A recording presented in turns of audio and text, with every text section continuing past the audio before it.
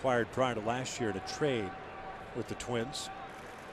This one back toward the middle. Aybar to his left has it. Slides, stands up, fires to first, and they got him.